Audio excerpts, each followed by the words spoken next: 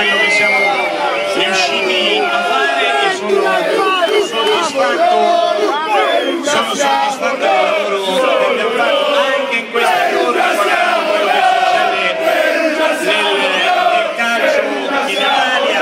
Penso di dimostrare, di aver dimostrato che le scelte, le scelte fatte sono state. Grazie alla società, grazie a tutti i giocatori, spero che possiate continuare così. Grazie.